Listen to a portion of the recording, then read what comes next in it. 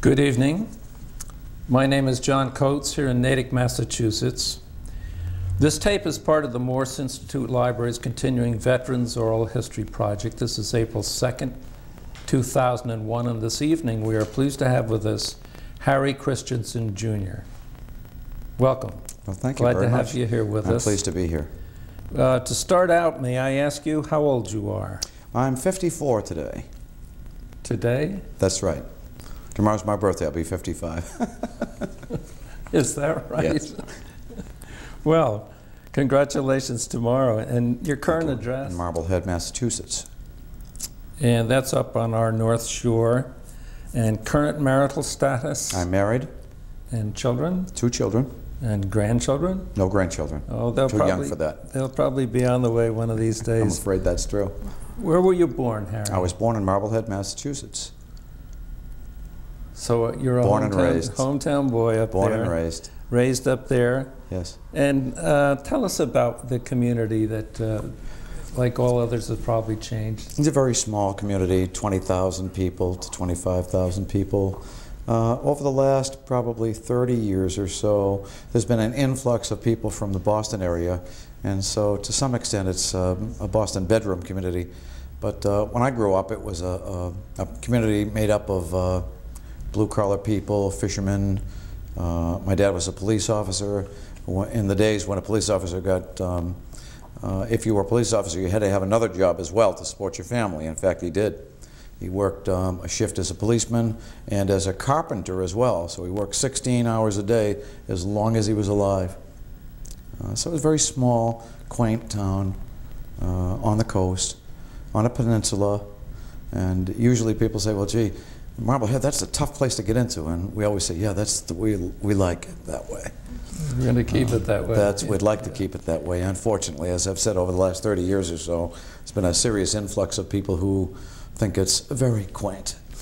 And accordingly, the, the real estate values have gone sky high, and so has everything else. But it's um, still the place I love, where my roots are. What about your mom? Uh, My mom's dad was working all those hours. Uh, my mom stayed home because there were uh, six kids to take care of, uh, myself and five younger. Uh, and uh, so she, she was home as long as I was alive, as long as my dad was alive.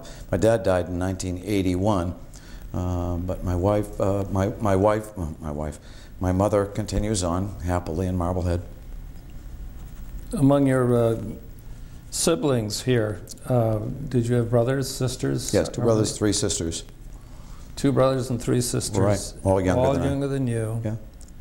And you went to the uh, school system in that town? I did. I went through uh, Marblehead High School and graduated in 1965.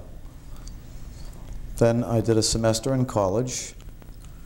And about that time, the Vietnam War was uh, becoming significant in the news. And I had always been brought up with the, um, the idea that if your country was at war, that's where you were supposed to serve. Consequently, I left college and joined the Marine Corps. Tell us about uh, being in high school. You were in high school in uh, 64, 65. Mhm. Did you guys uh, talk about the impending pro- probability that you would wind up in the service? I don't think so. It wasn't until graduation and my first year in college that that became a possibility. Accordingly, there were tests that were given um, for all students, at least in the beginning, to acquire an S1 category with the draft board student one year. Then you'd have to take the test again. They wanted to make sure, your draft board wanted to make sure that you were matriculated somewhere and not just dodging the draft. And I recall taking the, uh, uh, taking the tests, and I recall vividly my dad saying, what are you doing? It's 11 o'clock. You haven't studied. You, you, you know, tomorrow you're taking these tests. This could mean you're going into the, the service. And I said, well, you know, uh, what will be, will be. Legally, what were your um, options at that time so far as a, a draft was concerned? Well, at that time, I had a draft number. As you may recall, at 18, you had to register. And uh, I had a, uh, a 1S category, or maybe it was 2S, I really don't remember, but it was because I went right from high school into college. My options were to A, stay in college, or B, drop out of college and very likely be drafted, uh, or to enlist, I guess, those th- three options. What does 1S mean? Uh, one year student. So you had one year as a student, and then you had to reapply um, so that the draft board could ensure that year two you were still a student and matriculated. Um, otherwise, I suppose there were some people who you could get that category and just sit back and, and drop out of school and do whatever you wanted. So it was, um, as I remember it, followed up each year to make sure that you were still a student. At the end of one year of college, uh, you left school when you could have stayed in school? Is Yes, I did. What, what, what went through your mind for that kind of a decision? that it wasn't right for me to be in a classroom while people were fighting um, for their country and people were being killed. It wasn't, I, I couldn't concentrate. Did you have a bunch of guys you palled around with or, or had met in, in college? Uh, one or two, I guess. Did you discuss this decision with them? No, not at all. Did, did you discuss it with your family? I did. And what was the uh, outcome there? Well, my mom wanted to stay in school. Um, I think more likely because I would be safe there. Uh, my dad really didn't say one way or another. He knew where I was coming from, and uh, he just didn't say much at all. My mom wanted me to stay in school. Um, she felt that uh, joining the service, particularly the Marine Corps, could likely put me in harm's way, I'm sure.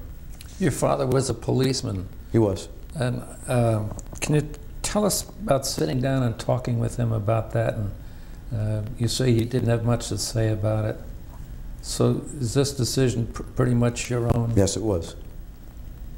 And can you tell us what weighed you toward the Corps? Toward the Marine Corps? Yeah. Well, I felt that um, if I had to serve in the service, that I might just as well serve in the real service. and the Marine Corps, for me, was the uh, the service at that time. Of course, I'd, I'd grown up in the uh, um, in the 50s and the early 60s when um, those people who fought wars were the Marine Corps, John Wayne and uh, uh, that group of people, and I thought that's what it was going to be like. And so, if you had to join the service at time of war, you might as well be in the first, you know, front ranks.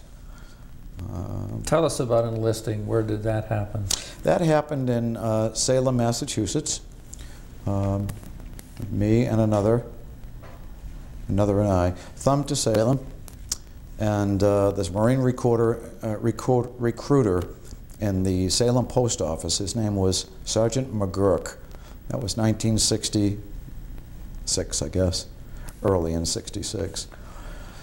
Uh, and we talked with him about joining the Marine Corps. What was our what were our chances to go to to go to Vietnam, and uh, what was the Marine Corps like, and and all of that. And we spent probably a couple of episodes with him, and then decided that that's what we wanted to do. What did McGurk tell you? What, what were your odds against going or not going? Well, he said you're likely to go to Vietnam. Uh, all Marine uh, uh, enlistees are riflemen. You're going to go to Vietnam, you're going to be in combat. And he just kind of reiterated the old John Wayne you're going to charge into combat on a white horse with your sabers flashing, and no one really gets hurt, just a lot of noise, and occasionally someone gets wounded, but no one really gets hurt in a situation like that. Had McGurk been there? I don't think so. I don't recall. But I don't think so, looking back at it. I recall that only because when I came back from overseas, I had more ribbons than he did. and he was a sergeant, he was a corporal. Who was this guy that went with you that day? His name was Roger Casey. And Roger and you signed up for the Marine Corps? We did. And did they take you immediately? They did. Well, no, there was a delayed. We were able to go in. We probably, I think we signed papers in like, I don't know, May of 1966 under what was called then the Delayed Entry Program. And what that meant was you had like 90 days of your actual service was underway, uh, but you didn't have to leave for boot camp until the end of that 90-day period. It was something like that. Maybe it was 120 days. So that, that would take you in in August. Well, I, I know I went down in December, so whatever 90 or 120 days is prior to December 6th, that's the day we left. I know that vividly. So whatever, and I don't remember if it was 90 or 120 days, but the idea was that you could join and your active duty would begin um, a substantial period of time before you had to show up. That was the idea. What was your contract with the Corps? Four years. Four years. Yes, sir. So in um, 66, you were signing up till the year 70. And they took, they didn't take you till December? What did you do in the meantime? Back to school or what? Um, no, I got ready for um, four years in the Marine Corps. I kind of hung around a bit. I know that um, shades of the deer hunter. Uh, I went deer hunting for the last time, uh, and that was probably late October, early November of 1965. Um, I'd hunted with my dad from the time I was eight or nine years old, I guess. And this was my last opportunity for a deer hunt before I went into the service. So we did that. And, you know, I chased my girlfriend around and uh, just kind of took it easy. Can you go back mentally for us tonight and tell us what you thought as the, the days were dwindling down to the precious few, as, as we say?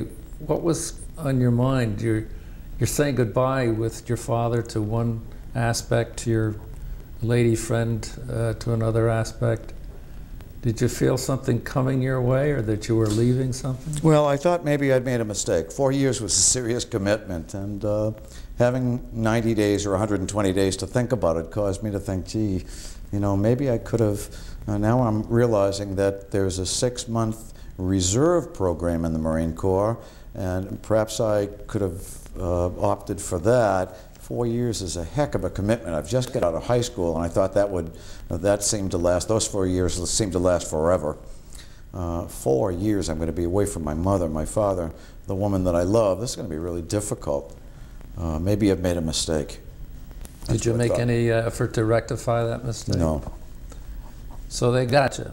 They got me. Yeah. For sure. Tell us about going to Parris Island. Well, it was. Uh, I remember we went to uh, South Station in Boston. Uh, we met several other kids that were from various areas of the um, metropolitan Boston area. Uh, and the first time I had a train ride, got on a train in South Station with uh, berths. I never realized that there were beds on trains until this trip.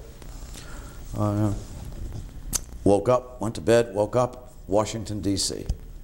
Got off of the train. There was someone waiting for us, a very kind person that got us onto another train that was uh, more like a cattle car, uh, boxcars with wooden seats in them. Uh, we got into those things and traveled through Virginia down to South Carolina. And I remember thinking, oh my God, what have I got myself into? I was uh, looking out the window all the way down, looking at these shacks with people barefoot with rag, wearing rags and living in uh, tar shacks. Uh, I was appalled. I thought that I um, that, that I wasn't in um, the United States any longer. Well, what is this all about? This is absolutely terrible. Uh, where do these people live? What uh, I was just uh, I was awakened, I guess, you know, living in Marblehead all of my life, or uh, anywhere where you don't see that kind of thing. It's a rude awakening and things got worse. Things went downhill from there. Yeah. You sure. got the Yemassee. Indeed. Neighborhoods changed. How large a group were you in when you went down on that train? On the train, Yeah. probably 30 guys. That's that's it. About one car carload. I think so. Okay. They'd stop every 700 miles or so and, and bring you in a little bit of fried chicken or something. I remember being hungrier than I had been in my entire life. That went downhill fast, too. Now get off the train. uh-huh. Uh, did you go over on the? Uh, uh, did you take the uh, barge over? No, took a bus. Over, walk over. Took a bus from the train station. Um, again, a very kind guy. I don't remember if he was a, a drill instructor. No, couldn't have been a drill instructor. Very nice guy. Got us off the train on the bus, uh, and uh, the next thing I knew, that was two o'clock in the morning, something like that.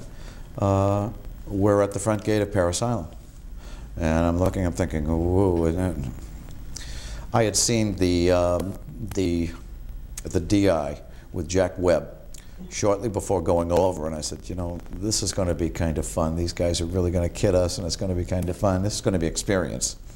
You were right. It was an experience, but it was not fun, not in any way at all. Tell us about walking through the gates, two o'clock in the morning, uh, going to the mattress factory or whatever they did with you. Well, the first thing was um, the bus drove us through the gates to uh, uh, an area, and there was a fellow there with a Smokey the Bear cap on, waiting for us. Uh, all of a sudden, he started screaming. And I don't know whether it was first or the middle or last getting off that bus, but people were flying off the bus. There are yellow footprints that uh, he's screaming at you with the most horrible obscenities that you have ever heard in your entire life. And I thought that I'd heard everything. I, I hadn't heard half of what this guy was screaming at us. And that was the chaplain, right? Um, and it pr- probably was the chaplain. This was the drill instructor that, that um, and up and down he went, uh, pulling on people's hair, pushing people in the face, hitting people, kicking people. Um, it was horrible. Uh, it scared the um, bejesus out of me. And we went from there to an area where they uh, checked all of our pockets to make sure that there wasn't any contraband. Um, and they found some, and those poor people. Um, we took all of our clothes off and uh, standing there in our underwear, and they, they uh, I believe they had some skivvies for us, and that's about all. We went to sleep. Uh, we woke up at the crack of dawn with another crazy person screaming horrible things at us, obscenities. Uh, and I want to tell you, when some, and, and they weren't kidding. They looked like psychotic killers. That it wasn't, it wasn't fun at all, uh, as I recall from the movie. It was, I was scared to death, absolutely scared to death. I didn't know what this fellow was going to do next. How old were you then? I was uh, 19. Had anything ever remotely in your life happened to you like this? Absolutely nothing. I'd never been in a situation like that in my entire life. If I could have gotten out of it, I would have done so in a minute. I can recall somewhere in the process of physicals, uh, one of the kids said to me, uh, they're giving me the option of going home. And I said, why? How? Why? And he said, well, I've got a pin in one of my fingers. And that they, they think that physical training might, might dislodge the pin. And I was thinking, oh, wow, I wish there was something that I had that had a pin in it that I could get out of this thing. It was absolutely terrible. Um, at one point, I, I wanted to call my mother and father and said, look, whatever you can do, Dad, you've got some kind of pull. Get me out of this. I've made a serious mistake. This is a terrible place. Uh, terrible, terrible place. I've never been so homesick in my life. I've never been so hurt, lonely. Um, it was just absolutely terrible. Hated it. You're part of a platoon now. Yeah. Um, how many guys in the platoon?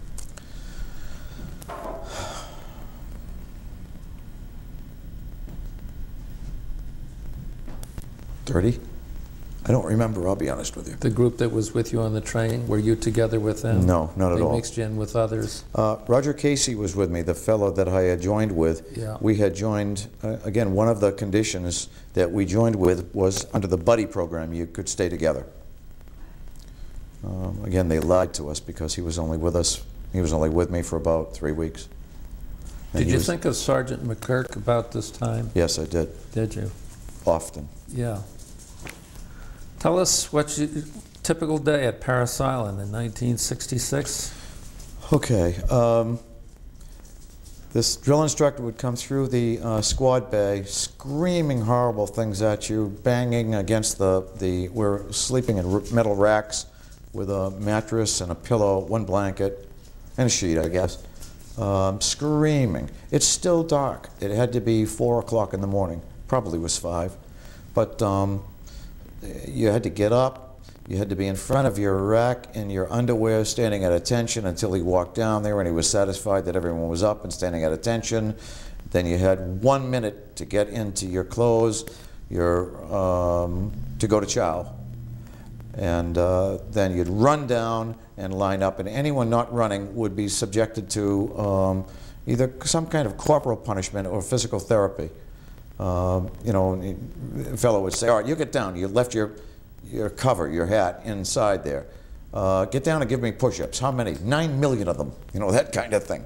Just uh, outrageous things. So they'd, they'd run you to the chow hall. You'd go through uh, and, and get chow. And that was the best time of the, for me. I loved that. Uh, I was about 90 pounds, ate everything that I could. Uh, every so often, a drill instructor would come up behind someone, push his face in his meal, or pull his hair back, spit it out, spit it out, and, and you know, do awful things to you. Uh, I thought they were, they were um, uh, the harassment uh, was uncalled for. Um, in fact, when I left, I wrote a letter to them. They asked you to um, uh, critique your stay at Parris Island. And I had one year of, of college, and I was talking about the psychotic, the individual who needed therapy that was our drill instructor. um, How long were you at Parris Island? Uh, oh, wow. December, January, February, four, eight. 90 12, days? 12 weeks. Yeah, and how long were you there before you be, before it dawned on you what they were trying to make out of you? Probably the first month. After that, I knew what they were doing. Um, uh, the first month or so, I was just scared. I was being hit.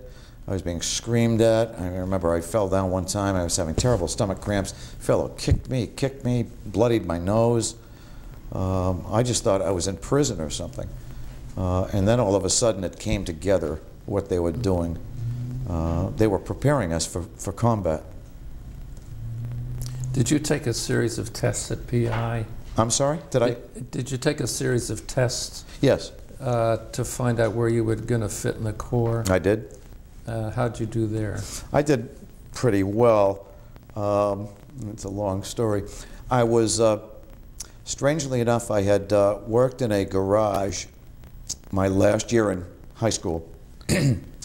and given that, my I think it's called the GQT test, General Qualifications Test, uh, fell probably within the average range.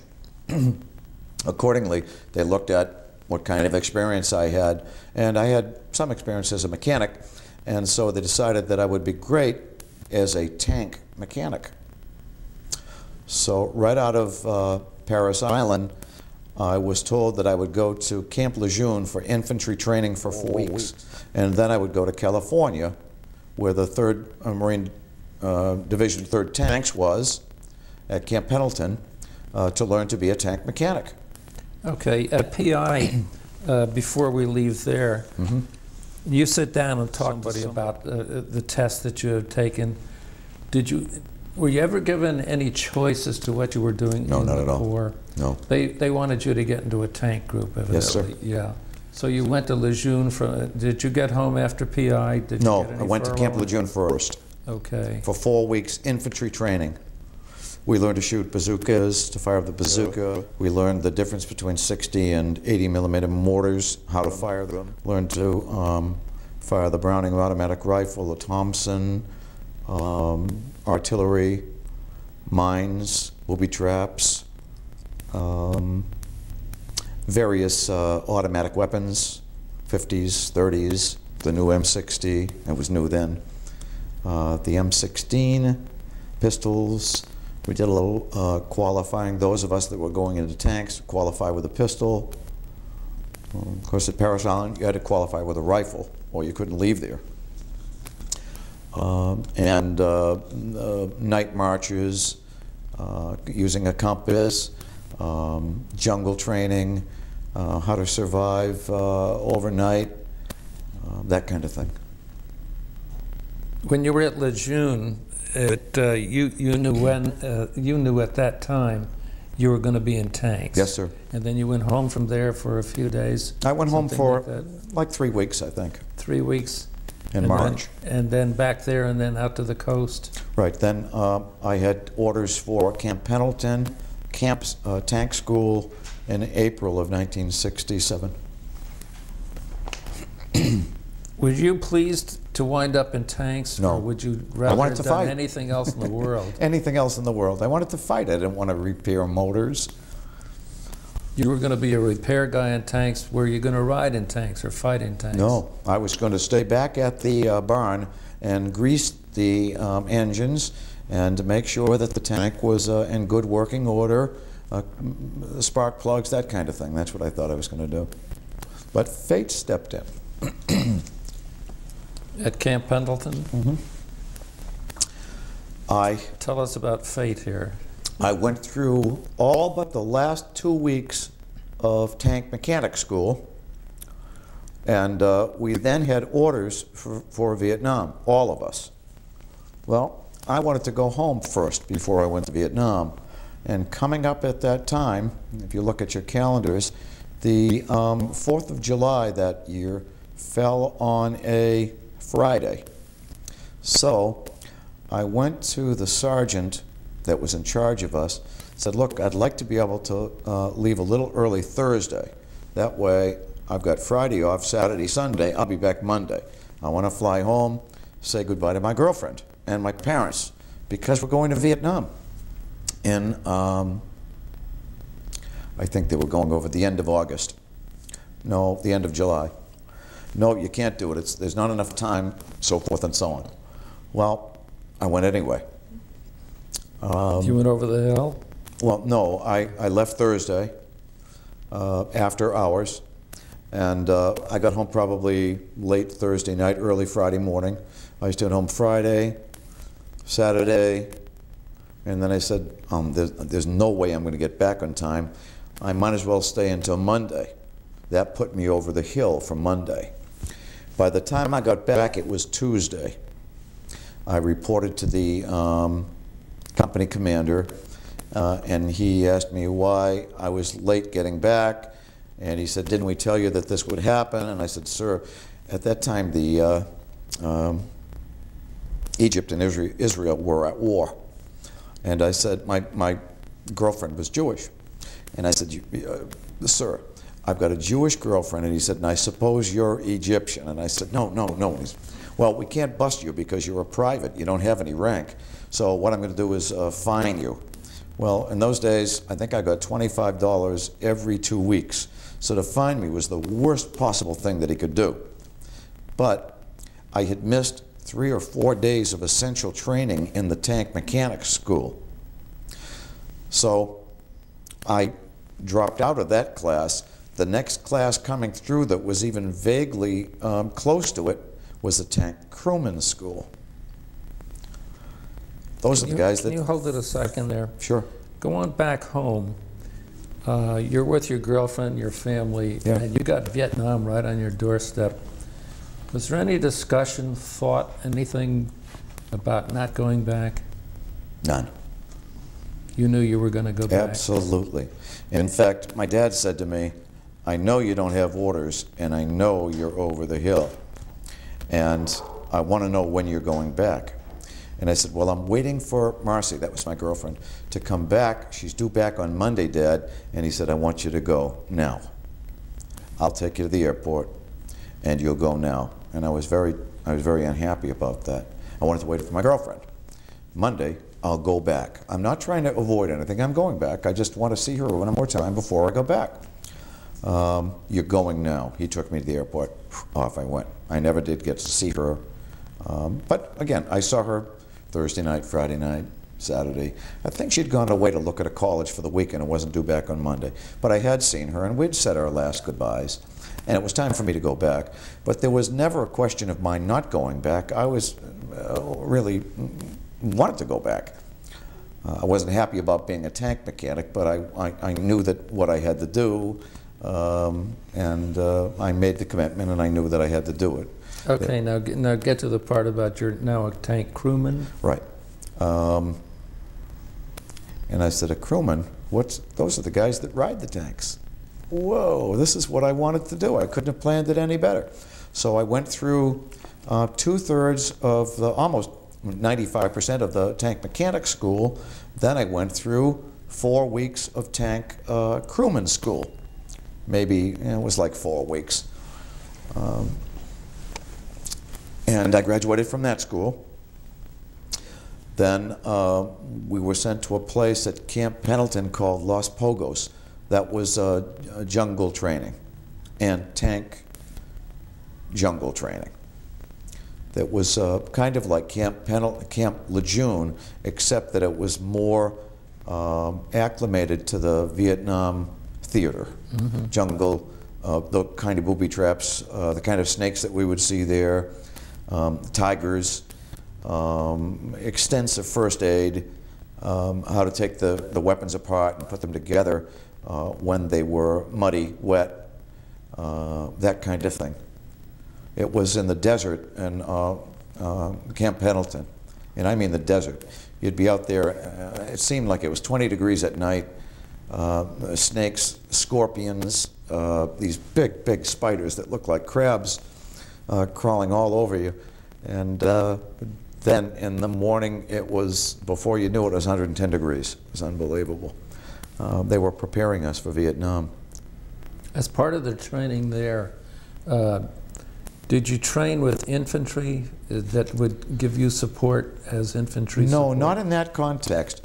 We were all infantry, other than the tank, learning to fire the tank, the, um, uh, to coordinate with the tank commander, the various jobs, the, the driver, the loader, the gunner, and the tank commander.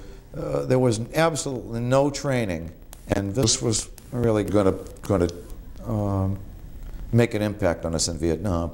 There was no training at all with um, armor infantry, none. And that's what we did in Vietnam primarily. They really missed the boat on that. That's about the one thing I think that the Marine Corps did not prepare me for. Um, other than that, what they did to me at Parris Island uh, and what I learned there in Camp uh, Lejeune and Camp Pendleton, I couldn't have been more prepared for what I was going to see. Uh, other than that, joint, the joint operation of um, infantry, armor, and air support. They often came into conflict with one another, and that caused some serious trouble. What was your job on the tank? Well, the, I was in Vietnam for five months. First month, I was um, a loader. I would load the um, ammunition, 40, 40 uh, what am I saying, 90 millimeter rounds into the breech uh, upon the command of whatever they, if they wanted a HE high explosive, you'd pull out that round. If they wanted a canister, you'd pull out that round and throw that in. There was another round that was used for anti-tanks, but the North Vietnamese had a few tanks and, and they didn't play around with them, so I never didn't see it, a North Vietnamese tank or a Russian tank the whole time I was there. Um, some of the old timers that were there, my first month or two, about talk T-34 tanks that they had seen in the DMZ, but I'd never seen one. So we just those two major rounds, HE or. Um, then I went to gunner. I was very good with a machine gun, uh, very very good with it. So they, let's see, probably I loaded for. Tell us about shipping out in the first place, uh, getting over there. I'm sorry. Tell us about going over in the first place. Did Okay. you go as a unit? Uh, went with a unit. There were very, um, uh, very different numbers of people. Some tankers, some recon people, some infantry, some foreign language people. Uh, we went to the air base at it's in California, Travis? Travis Air Force Base, uh, and there there was a uh, a commercial aircraft that took oh I don't know three or four hundred of us in a commercial aircraft to Hawaii. We landed there, refueled. From there to Okinawa, and we stayed overnight in Okinawa. Then from Okinawa to Da Nang. I mean, bam, bam, bam, bam, bam. Uh, I found myself in Da Nang.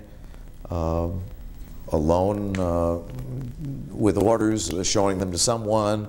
And they must have, I don't remember this really well. I was writing my memoirs. Uh, I'm in the process of it. And that's a blank to me. I don't remember. There must have been a terminal or something where you reported and said, here's my orders. Okay, you're going to Phu Bai. So from Da Nang, we took a um, C-130 flight up to Phu Bai, landed there. That's where the 3rd Marines were. Uh, from Phu Bai, Charlie Company, 3rd Tanks was at Phu Bai. Uh, we messed around a little bit there, stood guard duty, kind of got the language, the um, language was really kind of important. From there, we had to decide which group of third tanks we were going to. Charlie Company was in the rear at Phu Bai. Alpha Company was at Con Thien, bad, getting ba badly mauled. Bravo Company was at Camp Carroll, also getting hit badly. I wanted to go to Alpha Company, so I volunteered for Alpha Company. Going to go to Vietnam. He wants to fight. Um, I got Bravo Company. So we took a C-130 from Phu Bai that landed in Dong Ha.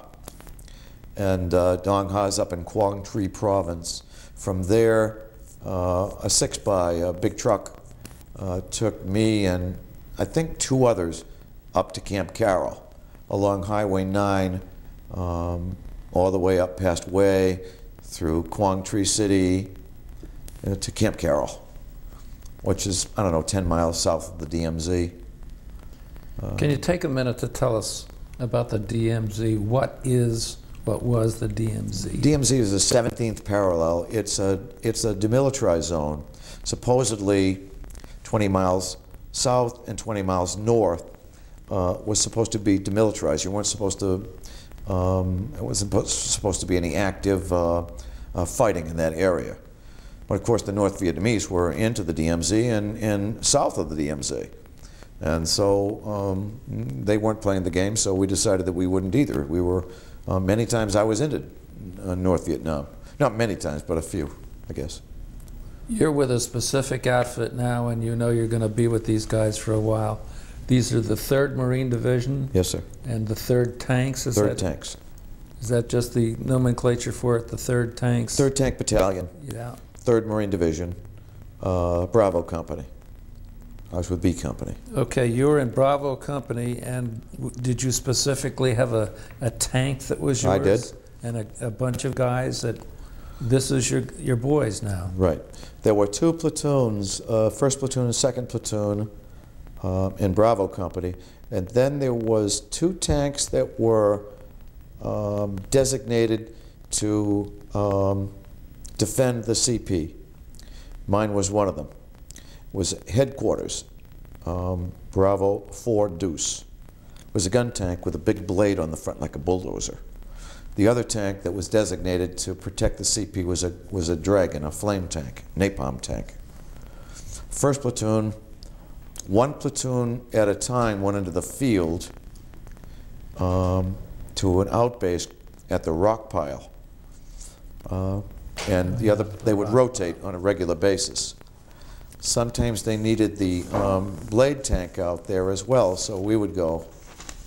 The blade tank was great in that it probably weighed an extra 15 tons or so. And so if you put that blade tank in the front, it would absorb a, an awful lot of concussion in the event that you hit a mine. What kind of tanks were these? M48A3s, uh, Patton tank. 90 millimeter cannon with a 50 caliber, either sky mounted on the top of the turret or out through the tank commander's cupola, which is a bubble on the top of the turret. And uh, we had a 30 caliber as well, and everything else that you could carry. We usually had, I had an AK-47, I had a grease gun, I had a Thompson, I had a shotgun, I had a, um, a, a bunch of grenades, everything that you could get, you carried on there. Um, You- sometimes. You mentioned the rock pile a minute ago. Yeah. Um, This is 10 miles from the southern border of the DMZ, is that about That's about right, I guess. Describe the rock pile. Oh, the rock pile was a hellish place. Um, between Camp Carroll and the DMZ, in essence, it was a series of trenches uh, covered over with plywood and tarps, hooches we called them, where you could get inside and, and uh, uh, get out of the rain. Uh, there was probably, I don't know, a company of people there, mortars, um, no heavy artillery, um, short mortars, uh, 60 millimeter mortars, a company of men, uh, a couple of tanks, maybe three tanks, uh, and that was about it.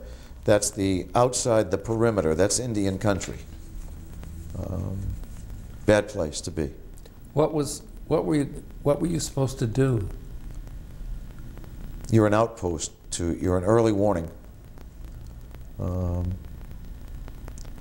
and it was a stop off, it was a, it was on the stage route. We would, um, uh, Dong was a major, uh, a major area, uh, supply area. They'd run convoys from Dong Ha up to Camp Carroll and then along Highway 9 up to Gio Linh in the northeast corner of the DMZ or to the rock pile and then Ca Lu, which was uh, um, even closer to the DMZ, five miles maybe into the DMZ, or west of there to uh, Khe Sanh and Con Thien. They were outposts. Early warning is what they would be, listening posts. They'd be overrun. They were expendable um, uh, areas, and it would let your major areas know that something was coming. So That's you were serving as a tripwire. That's uh, all. Out there. That's all. uh, in two tanks? And you're loaded for bear. Did you begin to see the, uh, the North Vietnamese army? Did, uh, who did you shoot at? Who did you fight? Um, it was, you never saw the army. Um, the tanks acted as support for convoys from one of these outposts to the other. Um, it was difficult to get helicopters in. Obviously, there, there were no airstrips, so they couldn't get aircraft in. So they'd begin with helicopters, but the helicopters were being shot down pretty readily with, with just automatic weapon fire and RPG fire, the rocket propelled grenades. So um, they were using tanks as security. They'd put one in the front, supply trucks, another tank, tank in the rear, and would run from one area to another. We'd be ambushed. You'd see them occasionally, but not as an army. Was an ambush site more than anything else. Um, even at uh, Khe Sanh, when we were surrounded, you'd have to use binoculars, and occasionally you could see them running from uh, one trench to another trench, but uh, very unusual to see uh, a full-scale attack with uh, 50, 100, uh, 10,000 people coming at you. It was very, very different, very confused, very, very confused. Can you describe a typical run uh, when you're in one of these convoys? Are you the lead tank? You, uh, Usually, I was the lead tank. In ta- that talk we about had the, that. Tell us had the- about going into territory like that. Well, it depended where you were going. Um, you had a false sense of security.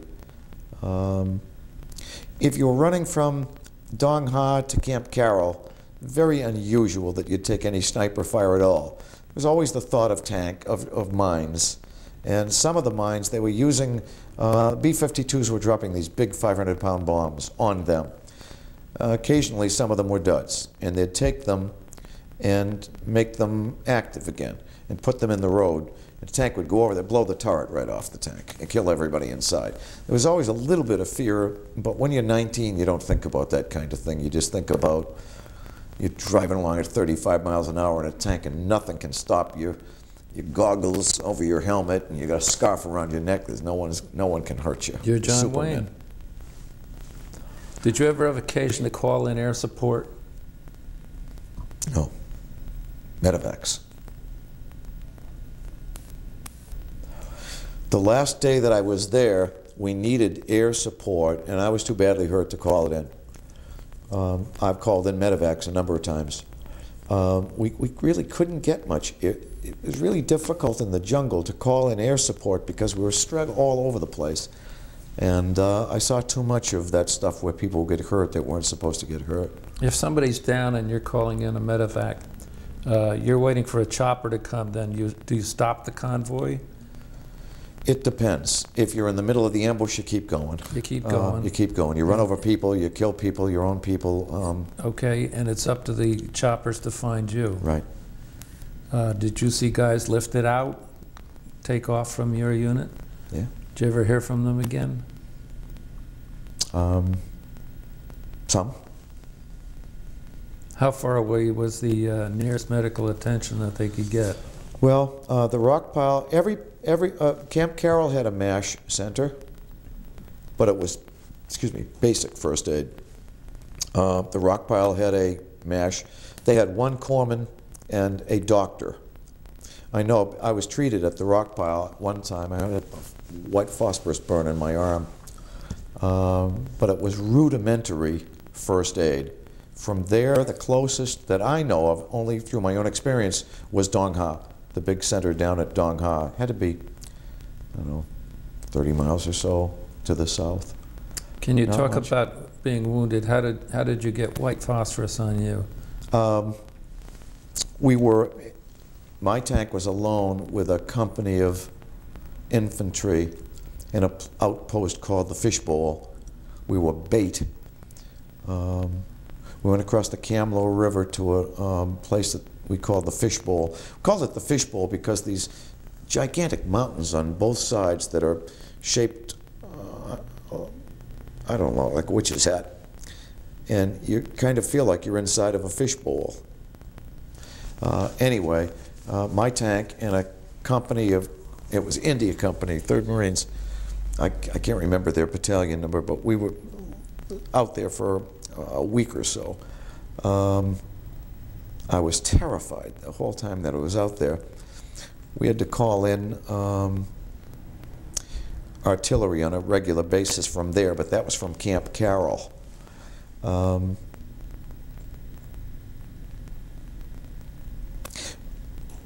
we evacuated that place and we were ordered to, um, destroy all of our bunkers, all of our trenches, uh, all of our hooches, sandbags. Uh, my tank had a blade on it, and so we were, we were um, uh, blading that stuff in. And we started to get some in incoming mortars, the big, those big North Vietnamese mortars, the 82 millimeter mortars. Uh, and I wanted to get out of there. So I was ground guiding the tank on the outside, on the fender of the tank, and, and uh, one of the rounds that came in was white phosphorus, Willie Peter we called it. And uh, it hit me in the arm, uh, wounded me in the arm. When we got back to the rock pile, uh, I saw detention there. It wasn't that bad. It hurt. It, it It kind of smarts a little, doesn't it? I've got a burn that size on my arm still from it, a scar there, like that. On other side. You, what, you were a corporal about now? Um, just about, yeah. Second stripe? Just about that time. I got to Vietnam as a private. Next month, I was a private first class. The next month, I was a lance corporal. The next month, I was a corporal. Why? Because I was so talented? Uh-uh. Because the guys in the tank were killed. And they needed somebody with a month's experience or two months' experience. By the time I had three months' experience, um, I was tank commander. We didn't have officers that commanded our tanks because um, we just didn't have them. Uh, the platoon leader that took care of the first platoon, four tanks, was a second lieutenant. We didn't have one for headquarters. So, of the flame tank and the blade tank, um, I was a tank commander of one, and there was another fellow who was a tank commander of the um, uh, flame tank. It seems to me No officers. you had to get pretty savvy pretty fast. Pretty fast. And you are now a, a, a corporal in the United States Marine Corps. Did it make sense to you some of the things that were happening to you out there? Uh, you, you, you, you're being used as a tripwire. Uh, you're being out there as bait. Did that make sense? I didn't think about that at all. Not once did I think about that. I worried about how I was going to live through the night or the day. I didn't think about any of that. Did you guys do things that you weren't supposed to do All the because time. you knew it was the better thing to do? Yes, sir. You, d- you said the hell with the orders. Uh, Yes, we know we know better. Right. Can you give us an example of that? Well, um, yeah. I'm at the rock pile. My tank is online. Uh, the enemy's no, no more than 20 feet away from us. Barbed wire, concertina wire. Um, four guys that were supposed to be a listening post. They're supposed to go outside of the wire and set up a listening post, come into my tank, and they're shaking, they're scared. Uh, Chris, can we come inside of your tank? We had a hooch there. Can you come? Can we come inside the hooch? We're scared. There's an awful lot of activity out there, and we'll call in our situation reports from here. Absolutely, come right in, guys. Um, oftentimes, we'd be told to do something on the radio, and we'd do what was going to save our lives. Um, And then you do stupid things too on occasion. You knew that there were booby traps everywhere. I remember being on the road from, where was it? It must have been from Camp Carroll to the rock pile, and there was one of these straw hats in the road.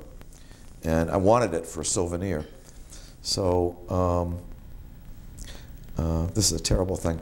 The, um, my loader had just gotten to Vietnam, and I said, Tracy, get, I stopped the tank. Tracy, get down and get that hat for me and bring it back. And as he's running to it, I said, "Oh my God! If that's booby trapped and blows his head off, I'll never, I'll never live." Thank God it wasn't. I don't know how it got there. It just was out. It was something very much out of place, and I knew better. And you know, um, C rations. You weren't supposed to take C rations if you weren't in the field. We took them because we needed them. You weren't supposed to use gasoline. You weren't supposed to take gasoline in the tank because of the explosive. But they were great with those little gasoline stoves, so we took them. Um, if we were told, um, oftentimes there was incoming rockets or artillery or mortars. Not, not, not a lot, but a few. Uh, we had things to do, and so we are told to take cover. We, we did those things anyway. Um, we weren't supposed to get drunk. We got drunk as much as we could. You weren't supposed to make your own jungle juice. We made jungle juice. There were southern boys that could make jungle juice from raisins, from peaches, from bananas. Um, we were supposed to take malaria tablets every Sunday. Right over your shoulder went the malaria tablet with the hope that we would get malaria and get out of there. Um, you name it. Uh, we had New Year's Eve, we uh, lit up the hill with um, these little flares that you shoot up. Uh, the company commander nearly killed us. Um, uh, I remember drawing names to see who was going to the officers' club at Camp Carroll and get a bottle of scotch because we were tired of drinking the jungle juice and beer. Um, yeah, we did a lot of things that weren't. We used to use C4 to, uh, for maintenance on the tank, explosive. Um, there's a torsion bar that's like a shock absorber. There's six of them that run through the tank. Um, and if one breaks and they broke off, then you have to pull it out with like a wheel puller uh, oftentimes you couldn't pull it out. It would break off inside there. So we'd use C4, like a cherry bomb, pack it in there, screw on, leave a little bit hanging out, light the fuse, and run it, or blow the torsion bar. I mean, yeah, stuff like that. Um, Did you have no officers within a thousand miles no, of sir. I never saw a dead officer the whole time I was there, till the last day I was there. How about live ones? Uh, didn't see many of those either. Where was everybody? I don't know. I, I do know. Uh, there were, at the CP at Camp Carroll, the command post at Camp Carroll, Second Lieutenant Lieutenant Himes was in the field with us all of the time. Uh, my company commander was from Arlington, I think. His name was Captain Kent, Captain. He was in the com bunker, communications bunker, all sandbagged. The executive officer was in the com bunker. He was a first lieutenant uh, Sergeant Major, First Sergeant. He was in the com bunker. They never left there. The five months that I was in Vietnam, our captain left the com bunker once and got killed. He was with me. He was on my tank running into that ambush. Um, he was about ready to go home. He had a couple of small kids. Uh, was looking for a Purple Heart or something, I guess. He got one, all right. This is probably going to be the, the dumbest question anybody asked you, but what was the greatest challenges you faced in combat? Well, it's uh, there are periods of it, of combat. There are periods when you're drawn to it, where you don't see people getting hurt, where you're dealing it out. And those are exhilarating kinds of things that, that you hit the bullseye at Parris Island. Um, and you get a, you know, a flag goes up. It's that kind of thing. The other extreme is when you're all out of courage. You're, the, you're at the end of the rope, and you're so scared that you can't uh, think. So, um,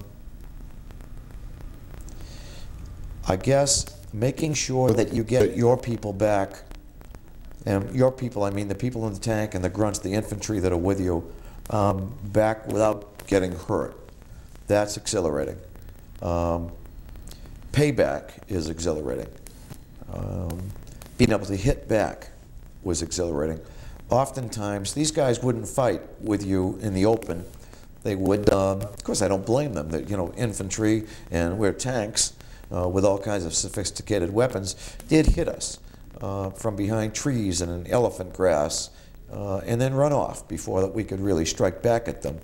And so, getting a piece of them, I guess, was the most exhilarating thing for me. And occasionally, it happened, and it was a very, it was very, it was exhilarating, I guess. Although looking back on it, you know, kill, killing people is not a very nice thing. Um, How about the other side of that? Were, were there moments when you felt this is it? I'm not going to get out of this. That they they're, Absolutely. they're throwing grenades in, in my tank or something. Yeah, well, Can I never had that like that? experience.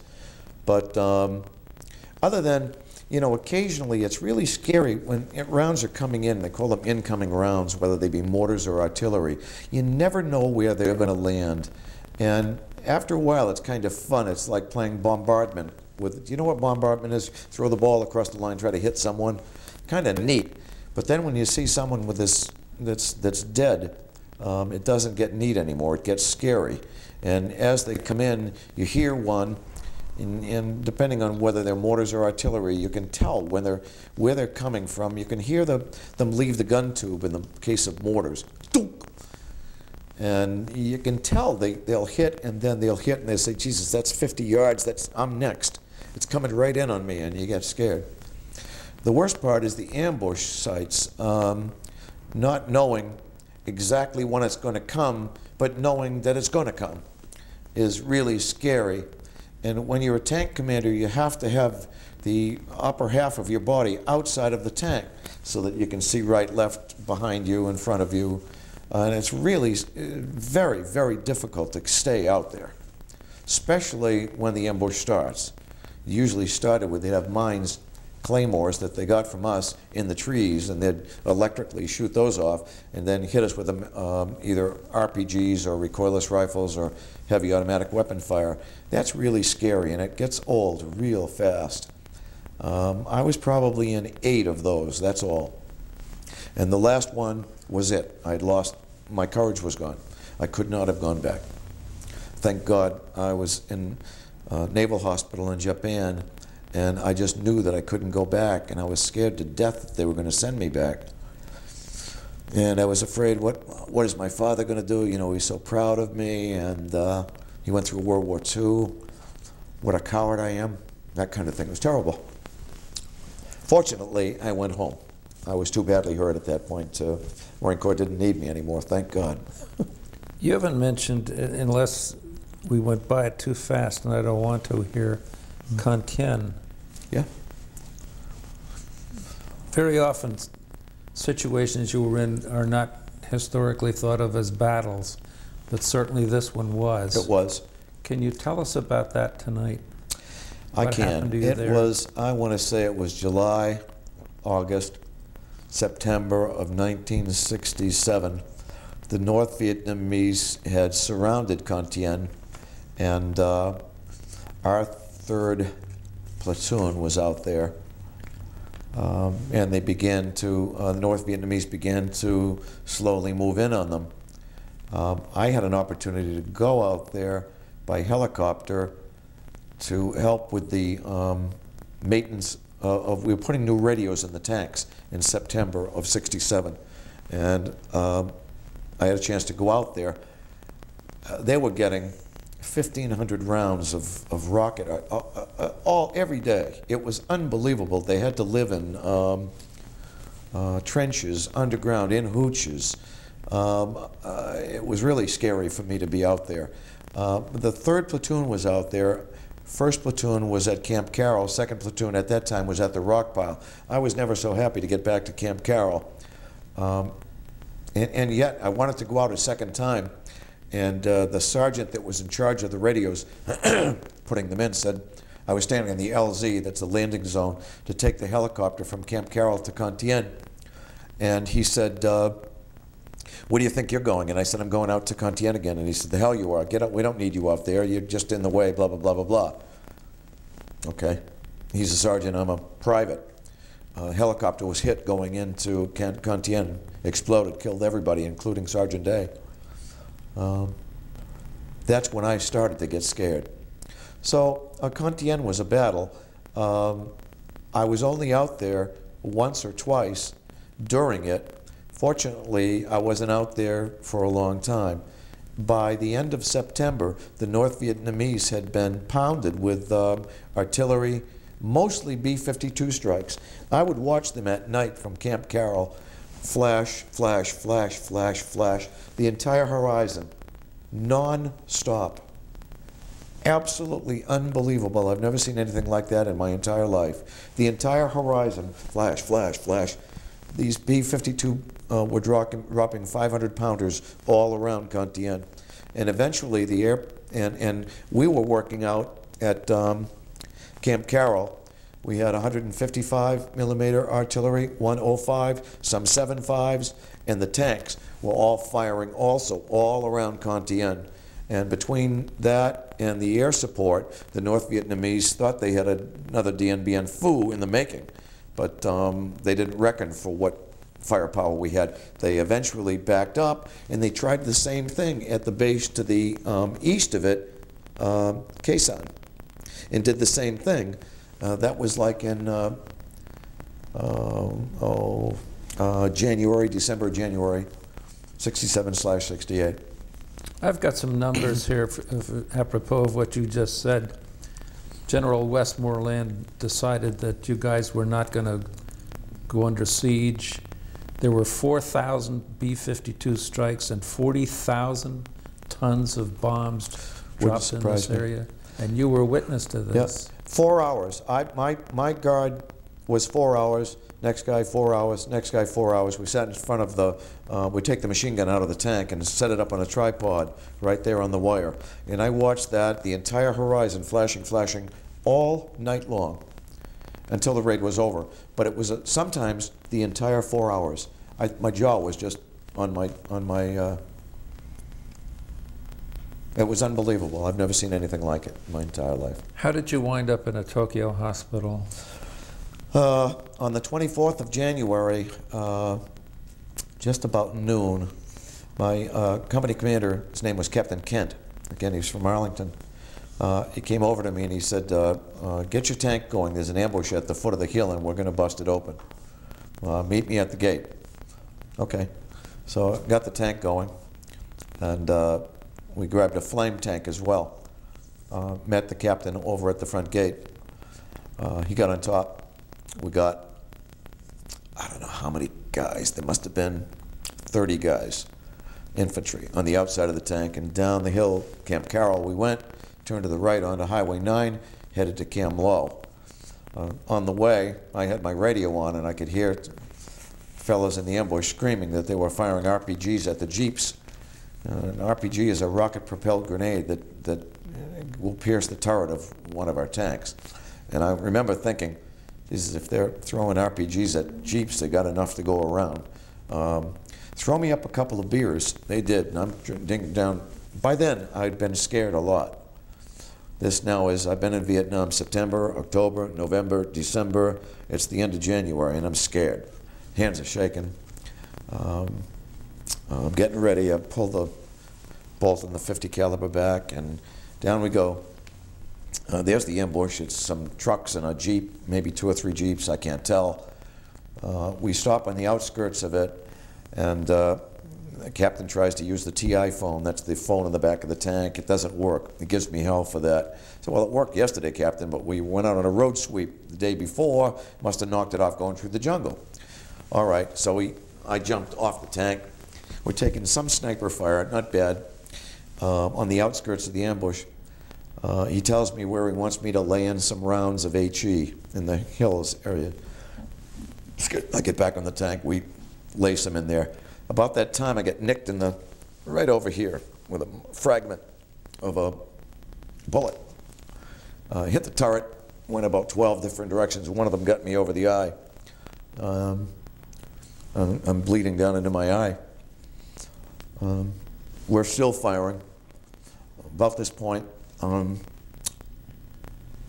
company commander gets up on the tank and he said, I think, Chris, I think they're a little bit closer than that.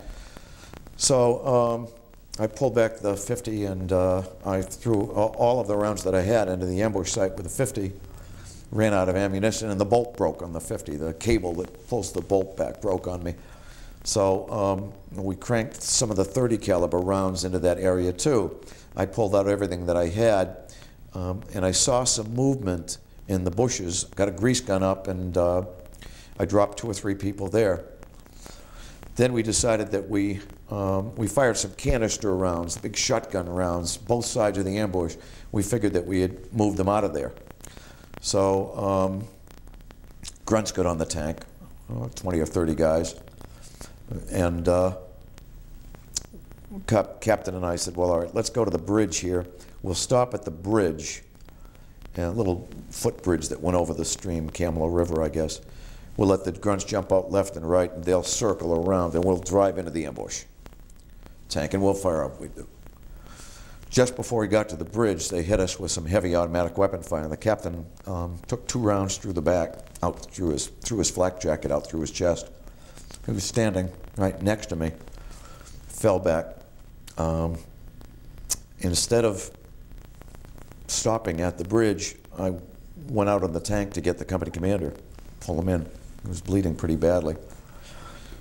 Put a battle dressing on his. In the meantime, the tank kept going, you see, and we went over the bridge and into the ambush site.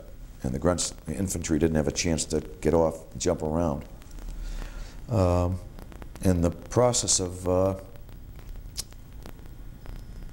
giving him first aid, the first of the RPGs hit, uh, wounded me uh, again in the face. I dragged him up on the turret, tried to get him inside, but he's really heavy. Another rocket hit, and it um, wounded me again in the face and on the arms.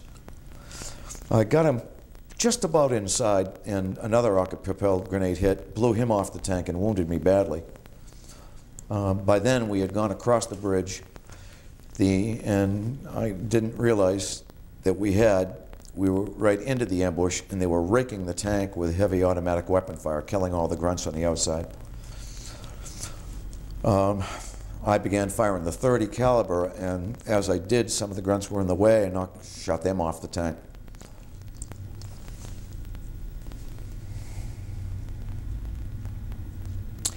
Um, then there was an explosion. The tank blew up, and uh, I wound up in the grass. Your tank blew up? Yeah. Fortunately, it blew me off to the side. Um, and I've got no wounds at all on my legs, unless I had a flak jacket on. I wake up and I'm in the elephant grass, and there's a couple of guys lying there with me, and we're pinned down. That grass is falling all around us with the automatic weapon fire that they're sweeping through there. And I'm hurt pretty badly. Part of my hand is blown off. I'm A gunshot wound through here. Um, fragmentation wounds up and down my arms, face and head, back of my, must have been wounded eight or nine times going into that ambush with pieces of shrapnel from the RPGs. So um, we lay there for about three hours, I guess. Um, they tried to call in artillery from Camp Carroll, but it was hitting some of the guys along the side. So they called in um, helicopter uh, gunship. It got hit, went down. Called in a medevac. They got a couple of guys on it. It got hit, went down, blew up. Then they called in these um, jets with uh, napalm and big bombs. Um, one landed so close to me, I swear to God, I was lying. Uh, I was trying to open up the earth to get my to bury myself in it. I must have come up that far when it hit. Uh, and it hit on the road, it hit one of the, um, the, the, flame tank behind us, blew it all. Uh, terrible screams all around. It was not a good day. Finally, three hours later, four hours later, I don't know. It was late in the day. It was almost dark, so noon to that time. Maybe it was four hours. We were pinned down. Finally, a truck came in, and at that point, the North Vietnamese had receded, and they loaded the dead and the wounded on the truck and drove us from, this was about where the Cam Lo village is, into uh, Dong Ha. And they had a big med field med station there. Uh, I couldn't get off the truck, so they uh, dragged me off the truck and into this MASH unit. And uh, I passed out there. I remember looking at the MASH unit and looking at to my right and to my left, and you don't want to know what was there. I passed out. I woke up in Da Nang for about, I don't know, an hour or so, I guess, and then I passed out again. I woke up in uh, Japan, Yokosuka, in a beautiful Navy hospital, clean sheets, Japanese um, young ladies waiting on me. Uh, they didn't use corpsmen there. They used these Japanese um, young ladies that um, in nurses' outfits that probably cost less money for the government than corpsmen. Uh, and they were just wonderful, kind, kind people. You did So- extraordinary things on that day. You, if I'm, if I have this correctly, you, you were awarded a Silver Star. You have two Purple Hearts, the Vietnam Cross for Gallantry, Presidential Unit Citation, United States Marine Corps Combat Action Ribbon, plus a, probably other stuff I'm, I haven't got here. How did somebody write up what you did that night and that afternoon, and how did they make sense out of that You don't know? absolute chaos? I don't know. Uh, Lieutenant Himes uh, was the uh, the uh, I told you he was the lieutenant that went into the field with a second lieutenant. Been in the Marine Corps for about a year. Um, he got some details from some of the grunts that were with us as to what happened. Um, in the meantime, course, I, I didn't tell you all of the details. I'm making radio contact with um, the CP as we go into the ambush. What's going on? What happened? I'm reporting the company commander is killed. I've got to, you know, um, uh, I'm telling them in code that he's killed. That we've got a lot of wounded. That we're pinned down. Um, blah blah blah blah blah. Um, You're all shot up and bleeding, and still you're on the mic and talking to somebody to try and make some sense out of all of this. You wound up in Tokyo, uh, Yokosuka. and Yokosuka. And are, are you on your way home now? Was I didn't end- know that. was At that that end point, of the war for you. It was. I didn't know it at that point. I didn't know it. I was scared to death. I was so scared when I got to the um, to the mash unit in Dong Ha. Chaplain came over to me and was rubbing my feet. Had my boots off. Was rubbing my feet. My feet were cold, and I couldn't urinate. And I had probably hadn't urinated since early in the day, and my stomach, my kidneys must have been all bloated, was killing me and I couldn't urinate. They brought me a urinal. I couldn't. I was scared so much, so scared. My muscles were all. So they had to catheterize me. Um, I was so scared that my bodily functions wouldn't work. I was that scared. I've never been that scared in my entire life. Jesus, that was awful. So um, when I got to Yokosuka, uh, by then, I was able to, my functions had come back, and my biggest fear was that they were going to patch me up and I was going to go back. I'd already been wounded once, and uh, in December, and I went out to the, um, I got patched up and sent right back. Uh, I didn't, I, I didn't have any more courage left. Scared. Before combat, before you had gotten into some of those situations, how much did you know about the people you were going to face? Just what I had learned at Parris Island and uh, Camp Lejeune. I guess Was that it they were. information you'd been given? No, not at all. They were people just like you and I. Um, we, we were taught that they were just a bayonet bag, that they were just something to be, to be hurt, to, to be, they weren't really human beings. They weren't, they were like animals, dogs, you could, um, or cats. You just, uh, kill them. That, it's all right to do that. That's not, they're not human beings. After six months in Vietnam, how did you feel about that? Well, I felt very badly for the um, for the people of South Vietnam that they were uh, they were blitzed by the North Vietnamese, blitzed by us, blitzed by the French, blitzed by the Japanese. These poor people didn't know which way to go, any which way but loose. They were um, uh, they were just mauled by by the by the world, by the human race. I felt very very badly for them. Um, the North Vietnamese, I'm still angry with them. I would like. Um, um, I'm still angry at the North Vietnamese. Although For 27 years, I hadn't seen any of the people that were that were that I had served with in Vietnam. And about three years ago, we had our first reunion in Washington D.C.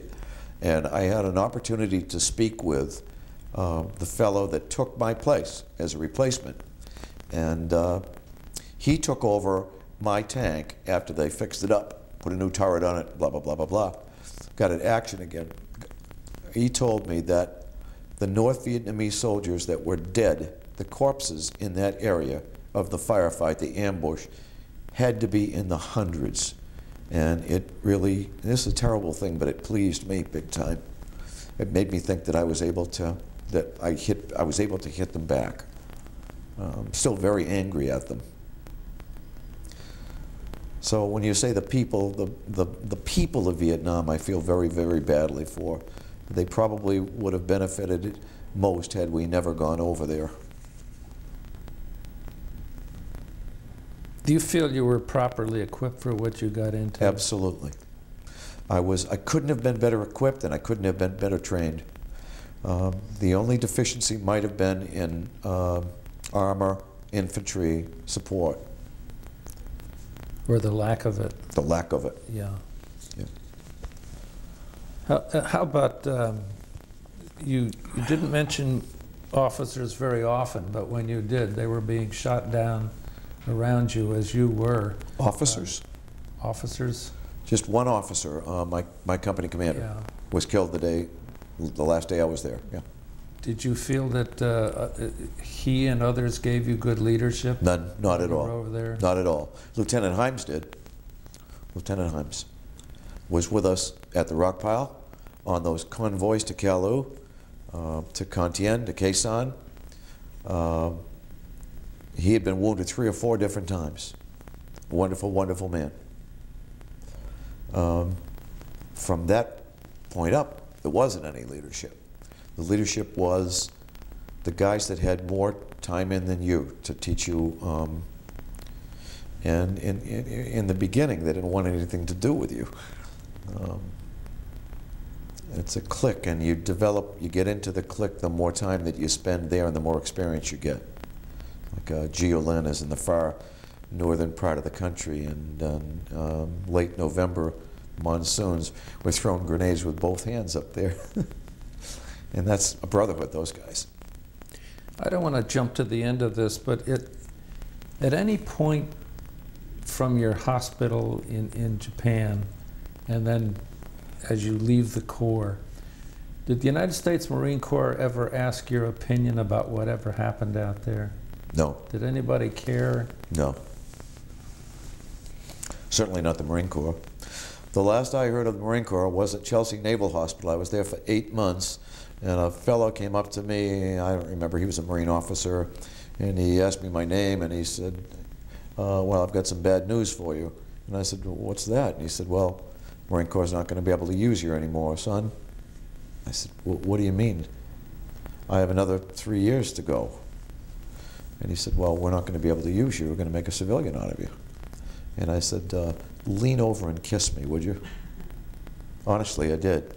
And he was appalled, turned around, walked off. The next day, uh, I was interviewed by a psychiatrist. And believe it or not, I got 10% disability for bizarre behavior. I still have the 10% disability now. You I could, have, you could write your own catch-22. I could. I am, I'm 70% disabled. I'm about to go to 100% with the VA. 10% of it is, and, and no one asked me anything about this until after that episode, so it had to do with that. I was so happy.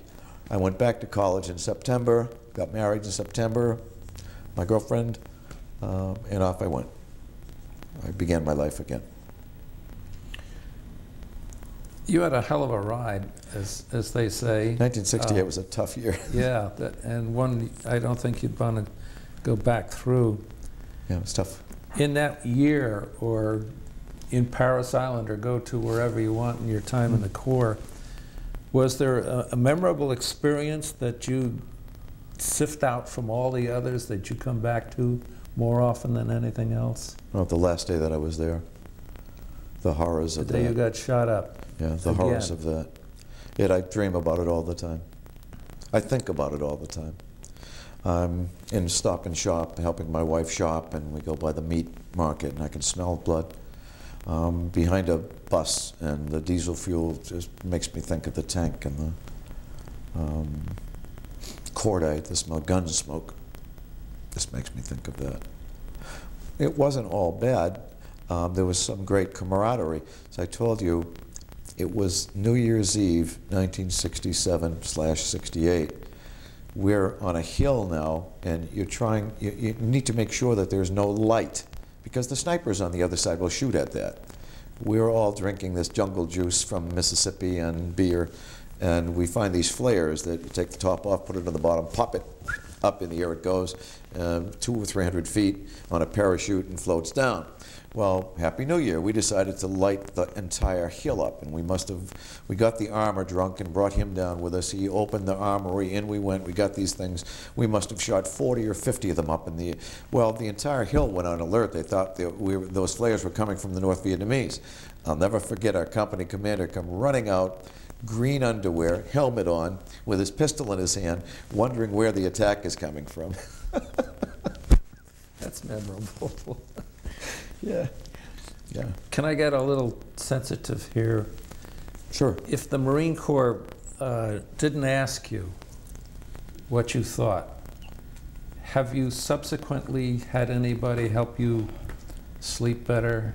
Yes. You get some kind of therapy that to try I did. and get this out of your I mind? did. I did. Back in the 70s, um, I had psychiatric counseling with a fellow that really I shouldn't have been with. Uh, he was a psych- psychologist, I guess. And then I went to a full-blown blown psychiatrist who had me on all kinds of terrible medications for about five years in the early 80s. I've been told that I would benefit from um, uh, group therapy, but it's really difficult for me. I see those guys that are in group therapy as the guys on the outside of the tank that really I didn't do a very good job for.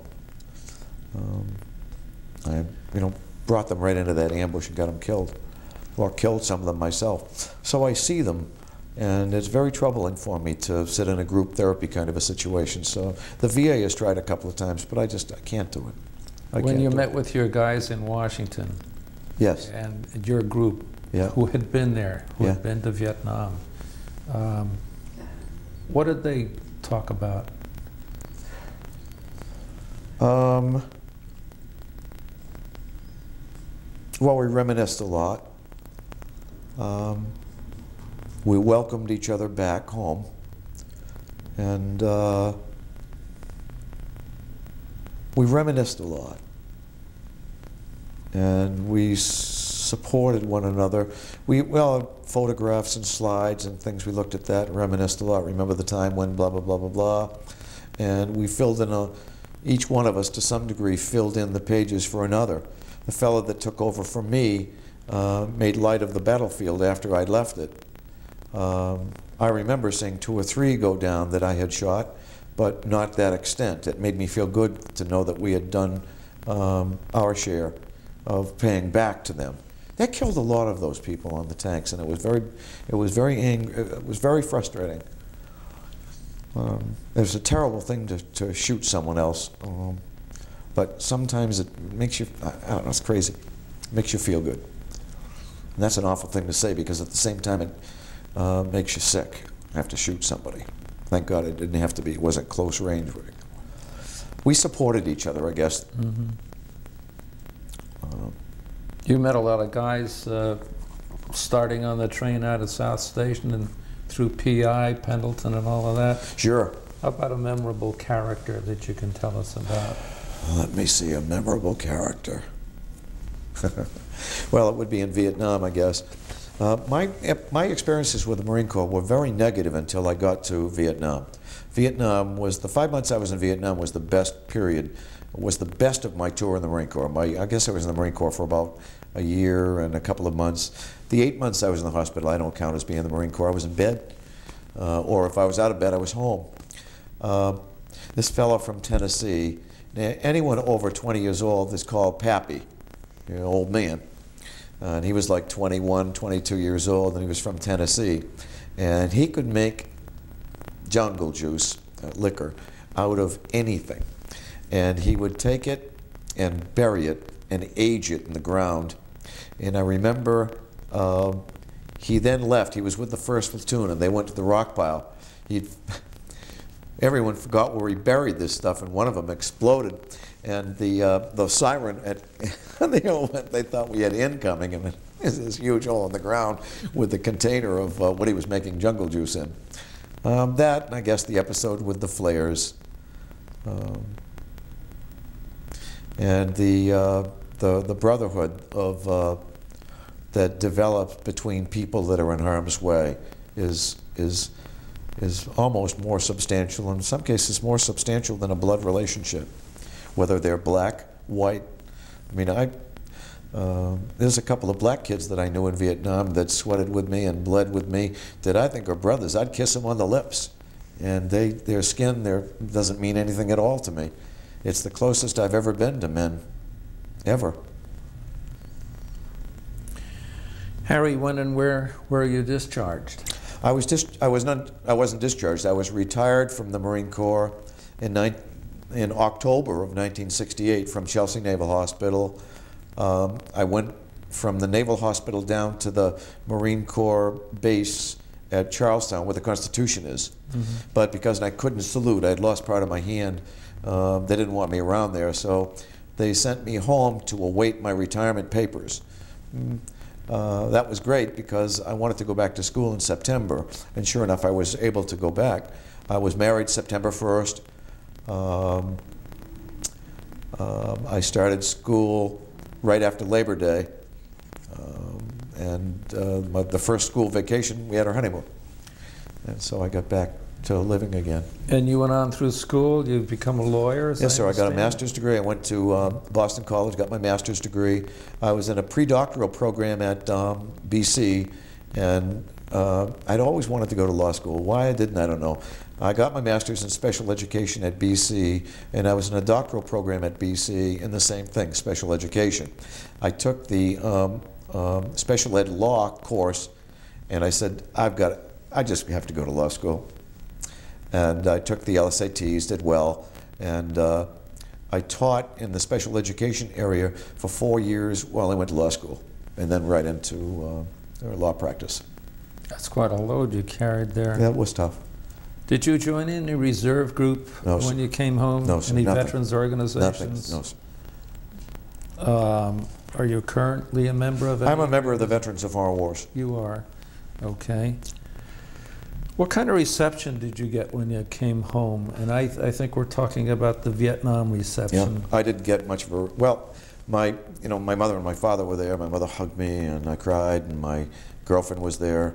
Um, when I was admitted to Chelsea Naval Hospital, corpsman right there said, uh, "You Christensen? Yeah. Your girlfriend calls. She's going to be here at five. Okay." Um, that was wonderful. My mother, some friends came up to the hospital to visit me.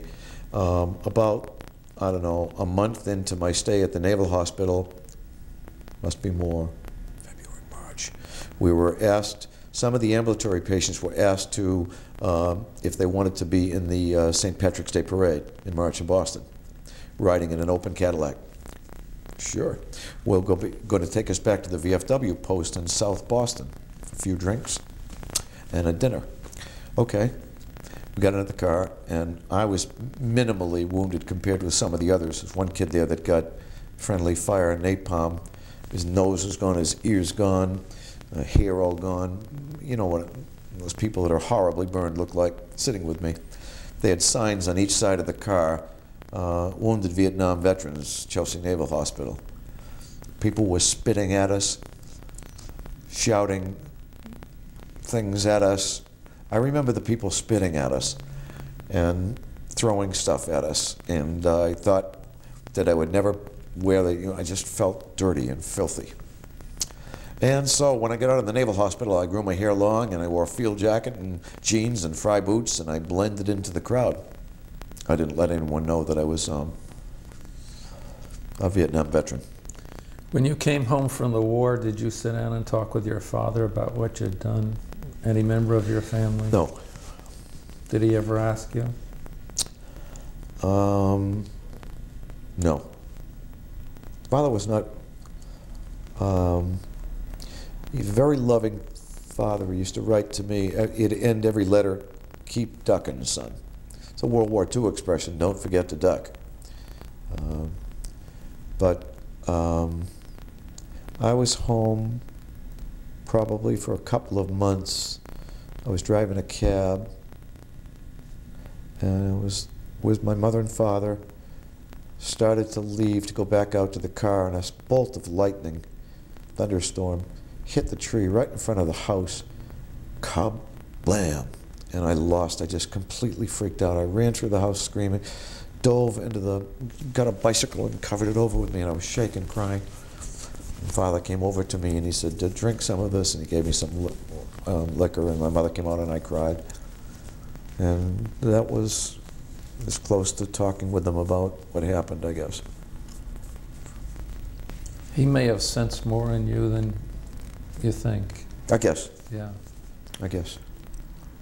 How important to you was serving in the military in, in the United States Marine Corps? Very important to me. Very important to me. I consider myself a former Marine, and uh, I'm very faithful to the Marine Corps. I think um, it was a horrible assignment that they were given in Vietnam, and they did their very best to train each and every person that they were sending into that meat grinder. They did a whale of a job training me. I couldn't have been trained better. And uh, if, God forbid, my courage is gone. I don't have any any anymore. I couldn't. I would run away from from fighting. But if I had to go into war, um, those are the people that I want to serve with because they take care of each other. They don't leave anyone there. Anybody hurt, they take out. Dead, wounded, they don't leave them behind, and they don't. Um, it's a brotherhood that I'm proud to be part of. Semper Fi. Semper Fi. Mac. What did you think then? And what do you think now about the war you were involved in? I didn't think anything. Uh, eh, then I need to survive and make sure that any of my people that were hurt, um, I got them to safety. Um, surviving from day to day and making sure that my people didn't get hurt one way or another. Only thing that I thought of. Nothing more than that. Now, um, uh, a measure of my youth disappeared in Vietnam, and uh, as I get older, I hurt more from my wounds. Um, I need to, I need to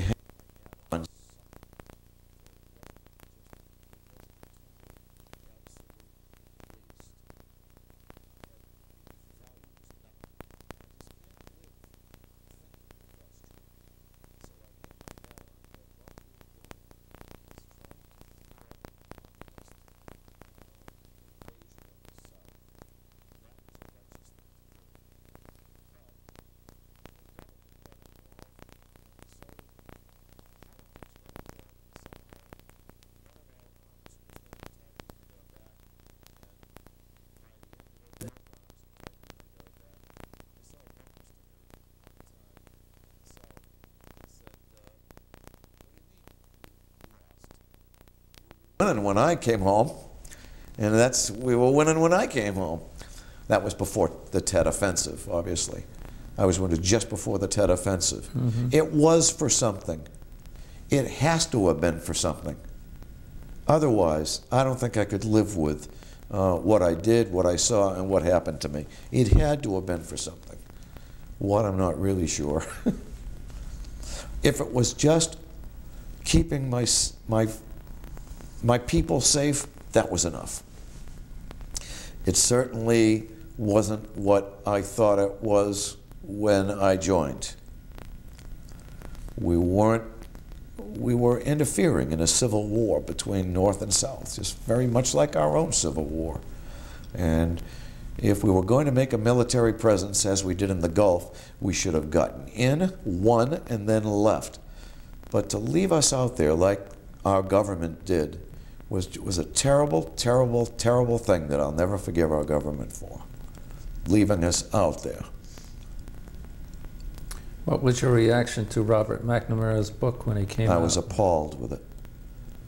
Um, yeah. His guts, our blood.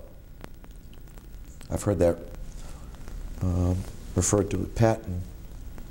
Uh, his mistakes, our blood. His lies, our blood. He doesn't have nightmares, I do. I was appalled, absolutely appalled. You've been uh, with us tonight almost an hour and a half.